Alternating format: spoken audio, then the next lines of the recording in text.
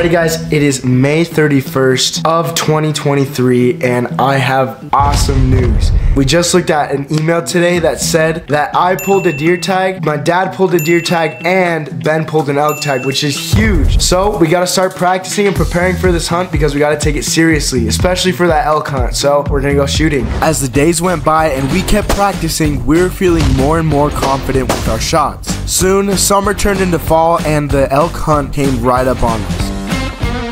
Guys, it is 11.59 p.m. It is the day before the elk hunt, and I'm happy to report that we finally have a game plan. The plan is pretty simple. We found this super cool elk hunting spot that is about four to five hours away from where we live, and so we're going to be driving throughout tonight and getting there super early in the morning. After we get there in the morning, we're going to set up and start scouting for some elk. The last step is hopefully we can stalk and maybe even have a chance at killing one. So let's pray and hope that we can get one. At around 12 in the morning, we decided to pack up and go to the spot. All that was left to do now was execute the plan exactly. Okay guys, it's a little bit past 5.15. We just got to the spot. We are going to activate stealth mode right now and we're just gonna go get the four-wheelers off of the trailer and um, start heading over to the spot.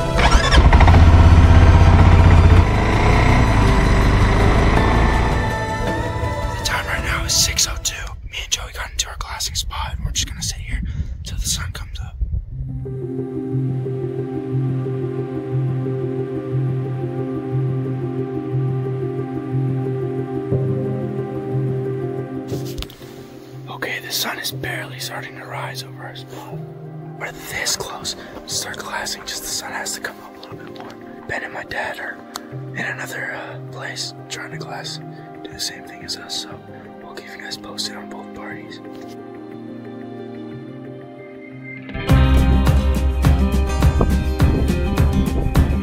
With an unsuccessful hunt as the start of our three day trip, we were feeling really down. Also, to make matters worse, the place that we were hunting was filled with elk hunters. We tried to climb up into the alpine mountains, down into the low deserts, and we could not find a single thing. Even though there was majestic landscapes with wild horses running free and awesome sunsets, our day three hunt came to a close and we went home defeated until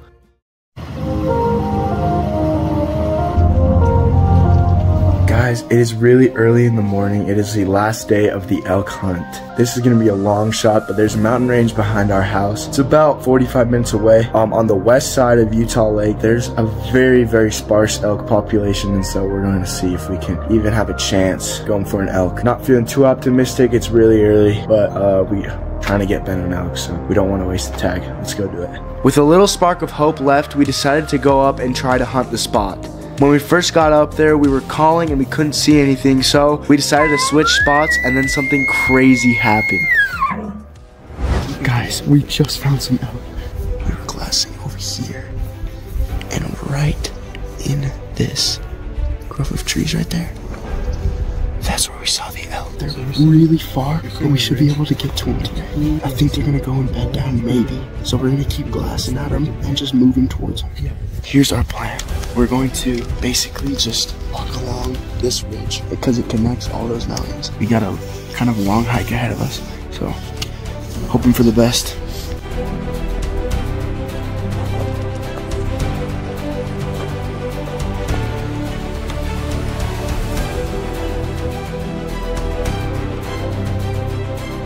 It's about 10 o'clock right now, so we've got a couple of hours to go and get this elk. Basically, we're walking behind the mountains that I showed you guys right now.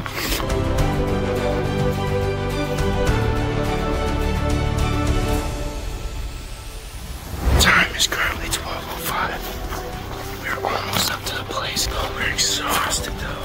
Our four wheelers are miles away, so we're gonna have to walk back if we get one. But it should be worth it. Okay, guys, so right now we're trying to get some rest real quick because we just walked up like this giant mountain and we're so done. So, anyways, we're going to, um, we're gonna see what the plan is from here. We don't know really.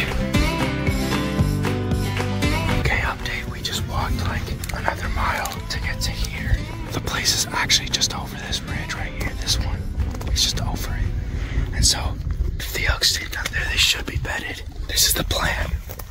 We're going all the way down to here, cutting up, down, up, until we get to that ridge. Public land ends down over there. So we have all this to hunt. Let's see we can make happen. Finally, inches away from reaching our goal, we climbed the rest of our hike, got set up, and started to call for the elk. And to our surprise,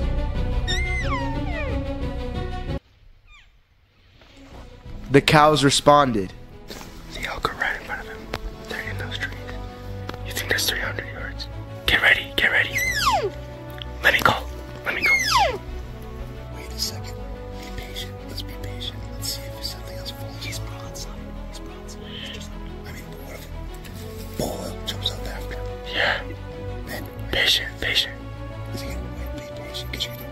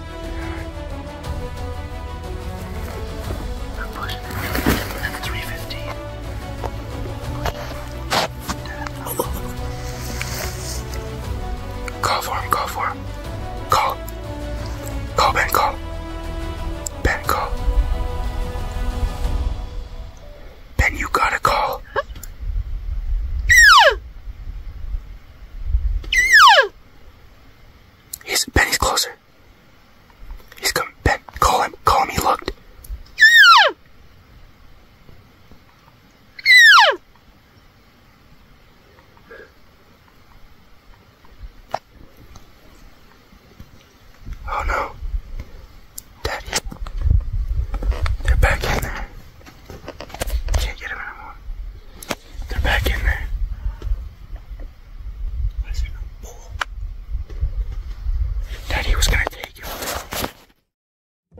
Well, after that clip that we just watched, we looked to our left because we heard some sounds, and it turns out the elk started galloping away because they caught a whiff of us. And so, I don't know, that moment just really, like, I don't know, it just makes me think, you know, like, I think I should have probably pulled the trigger. I don't know, I was kind of indecisive because maybe there was something bigger there, or I don't know, it was just a little spike, but, but yeah, it's just one of those moments where you do something and you like regret it. So, what I would say is definitely if it's your last day and you see a spike, definitely take that shot. Other than that, it was like, it was our first big game hunt, right? And it was like one of the greatest experiences we've had. It was super refreshing to get back into nature and try to go find elk. It was even more impressive that we did it with our three, little three-man crew with no experience on a mountain with low elk population, finding those things and having the chance, you know. But yeah, guys, that's my elk story.